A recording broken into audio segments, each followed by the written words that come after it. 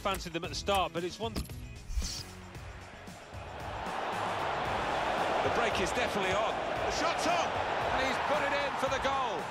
Such a big game, such a big prize for them, and it looks as though it's probably in the bag now. Well, there was a bit of tension beforehand, but the way they've coped with that just shows you that they are potential champions here.